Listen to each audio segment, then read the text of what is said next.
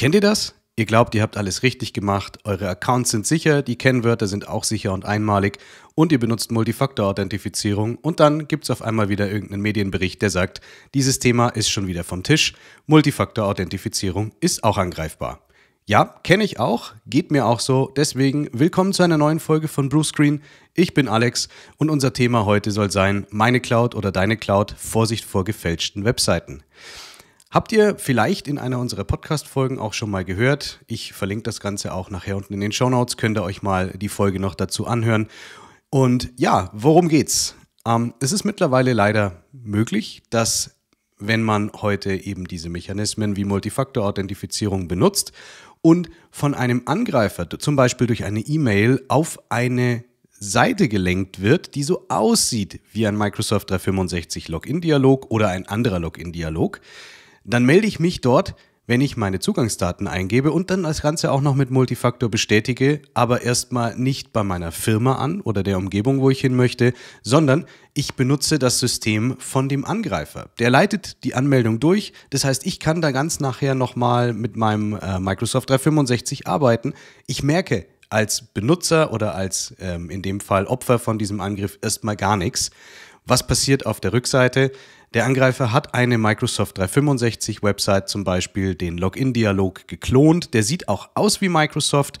Dadurch, dass er aber einen sogenannten Man-in-the-Middle-Angriff äh, durchführt, hat er den Cookie, den er dort ausgestellt hat und den ich von Microsoft bekomme, einfach klauen können. So, und dann geht der Angreifer her, schnappt sich dieses Cookie und meldet sich selber auf Basis nicht von Benutzername, Kennwort und MFA, sondern mit dem gültigen Cookie ebenfalls an einer Microsoft 365-Sitzung an, aber an einer echten. Das heißt, in dem Moment, wo mein Cookie abhanden kommt, ist das Kind in den Brunnen gefallen. Das heißt, der Angreifer kann sich jetzt komplett frei im Rahmen von diesem Account, von dem er das Cookie geklaut hat, anmelden und da machen, was er will. Das fällt leider wirklich äußerst selten erstmal auf. Vielleicht fällt es dann erst auf, wenn das ein privilegierter Account war, der dann anfängt, Benutzer anzulegen oder Kennwörter zu ändern oder auch Sachen kaputt zu machen oder komische Mails im Kontext von diesem kompromittierten Konto zu verschicken. Aber es ist erstmal ziemlich unter dem Radar. Und tja, das ist natürlich ein riesiges Problem. Da hilft uns an dieser Stelle dann eben auch Multifaktor-Authentifizierung nicht weiter. Sprich, wir müssen uns überlegen, wie kann man es denn besser machen. Also die erste Methode, die ich an der Stelle immer tatsächlich unseren Kunden auch empfehle, ist, mach ein Customizing von deinen Login-Dialogen. Also sieh zu, gerade bei Microsoft zum Beispiel, um bei dem jetzt mal zu bleiben, dass beim Login-Dialog hinten dran dieser Splash-Screen irgendwie nach deiner Firma aussieht. Mach dein Firmenlogo rein, mach noch einen Text mit rein, der sagt, willkommen zum Beispiel bei Pegasus. Auch das kann man natürlich klonen, aber das ist schon ein bisschen aufwendiger. Also es ist zumindest nicht so einfach wie diesen 0815 Anmeldedialog, den man eben von Microsoft kennt, zu klonen. Und das wäre schon mal so der erste äh, Tipp an der Stelle. Macht das Customizing, brandet die Umgebung, auch das, was da hinten dran dann zum Beispiel angezeigt wird, damit die Leute, die sich anmelden, auch erkennen, aha, ich bin hier im Kontext von meiner Firma, in dem Tenant meines Unternehmens und da bin ich dann schon mal ein Stück weit sicherer.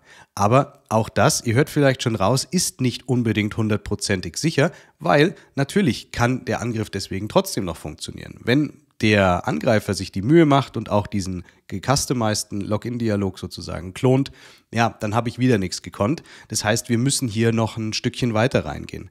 Und wenn ihr euch mal nochmal an das Thema Zero Trust zurückerinnert, da gibt es auch Möglichkeiten, dass ich als Administrator von einer Umgebung sagen kann, ich möchte nicht, dass sich an meiner Umgebung überhaupt irgendwelche Fremdsysteme anmelden. Das heißt, bei der Anmeldung wird auch überprüft, Kenne ich das Gerät? Vertraue ich dem Gerät? Ist da vielleicht auch ein passendes Zertifikat auf dem Gerät installiert? Und nur solche Geräte lasse ich dann auch entsprechend rein. Das kann man auch zum Beispiel nach Ländergruppen noch sortieren, dass ich sage, ich möchte keine Anmeldungen von außerhalb von Deutschland oder außerhalb des Gültigkeitsbereiches von der DSGVO oder der Europäischen Datenschutzrichtlinie.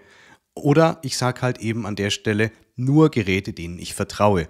Und dieses Thema nur Geräte, denen ich vertraue aus Sicht von Microsoft liest sich ähm, im Grunde genommen so, dass ich sagen kann, Entweder vertraue ich dem Gerät, weil es eine hybride Domäne gibt. Das heißt, das Gerät ist eigentlich in meiner eigentlichen lokalen Domäne gejoint und verbunden über Azure Active Directory mit meiner Cloud. Sprich, nur diese Geräte dürfen sich denn überhaupt an Microsoft 365 anmelden und dort Dinge tun. Oder das Gerät ist nativ in Azure Active Directory integriert oder es hat halt zum Beispiel ein Onboarding vorher im Endpoint Manager stattgefunden über Intune und nur mit solchen Geräten unterhalte ich mich auch überhaupt. Alle anderen Geräte dürfen nichts oder dürfen halt einfach entsprechend weniger. Wenn ich jetzt beispielsweise sage, ich habe aber die Möglichkeit auch, dass die Leute über einen Browser von irgendwo auf der Welt zumindest auf ihr Postfach, ihr OneDrive oder sonst was gucken dürfen, das kann ich alles einstellen, aber damit schiebe ich diesem Angriff erstmal einen massiven Riegel vor. Wenn wir jetzt zurückdenken nochmal, der Angreifer, der hat das Cookie geklaut, sitzt mit einem Rechner, tatsächlich sogar auch in Deutschland von mir aus oder zumindest mit einer IP-Adresse in Deutschland und versucht jetzt diesen Cookie-Stealing-Angriff durchzuführen, dann würde er spätestens an dieser Stelle scheitern, weil die Zero-Trust-Richtlinie bei Microsoft nennt sich das Ganze Conditional Access. Die Conditional Access Richtlinie sagt, nein, sorry, du scheinst zwar der gleiche Benutzer zu sein, den ich vorhin gesehen habe, du hast auch das passende Cookie, aber dein Gerät, das kenne ich nicht und mit dem unterhalte ich mich an der Stelle auch gar nicht. Also wirklich eine sehr gute Maßnahme, um diesen Angriff tatsächlich auszuhebeln. Wissen viele gar nicht, dass sie das mit ihrer Lizenz vielleicht schon können. Standardmäßig dabei ist es zum Beispiel bei den Business Premium Plänen. Es ist auch standardmäßig bei den äh, größeren Enterprise Plänen dabei. Wenn man jetzt was kleineres hat, wie meinetwegen eine, eine Business Standard oder eine reine Exchange Online Lizenz, dann habe ich trotzdem auch die Möglichkeit, hier entsprechend vorzubeugen, indem ich diesen Plan einfach durch eine Azure Active Directory Premium Plan 1 Lizenz erweitere oder wenn ich es gleich ein bisschen größer gerne haben möchte, dann einen EMS-Plan, also Enterprise Mobility und Security Plan E3 oder E5 dazu nehmen. Kostet nicht wirklich viel, aber macht das Thema Account-Sicherheit und Gerätesicherheit um so viel besser. Und damit kann man diesen Angriffen, was das Thema Cookie-Stealing angeht, natürlich super vorbeugen. Und ich schütze mich natürlich auch vor anderen Themen, wie eben, dass dann zum Beispiel auch sonst Geräte, die jetzt nicht mit einem gestohlenen Cookie, aber mit nur Benutzername, Kennwort ohne MFA sich an meiner Umgebung anmelden, natürlich auch komplett vor. Das heißt, diese Geräte sind ausgesperrt, die kommen auch nicht mehr in die Umgebung rein. Und damit kann ich zumindest an der Stelle garantieren, dass nur das, was ich kenne, auch sich an meiner Umgebung anmelden kann. Ja, das soll schon wieder gewesen sein in aller Kürze zu diesem Thema. Seid da auf jeden Fall wachsam. Guckt euch das auch bei euch in der Umgebung mal an, ob man vielleicht diese Lizenz schon eben hat. Und wenn ihr Fragen dazu habt, dann einfach gerne auch bei uns melden. Ihr findet meine E-Mail-Adresse unten direkt in den Show Notes. Unten in den Shownotes neuerdings ist auch ein Link dabei. Wenn ihr einen Beratungstermin haben möchtet, könnt ihr da einfach raufklicken. Bucht euch bei mir 30 Minuten kostenlose Beratung. Dann unterhalte ich mich gerne mit euch auch zum Beispiel über dieses Thema. Wir können da ganz unverbindlich einfach mal eure Situation besprechen. Und wenn euch das gefällt, was ich da entsprechend zu sagen habe, dann machen wir einfach vielleicht nochmal einen größeren Termin oder einen Workshop dazu.